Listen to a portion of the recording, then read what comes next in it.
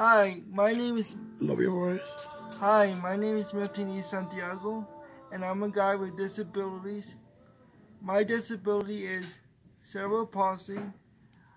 I like anime, Spanish soap operas, Korean soap operas. I like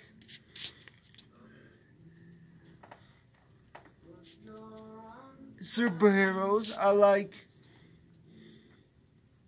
Spanish food. I like any kind of food. If you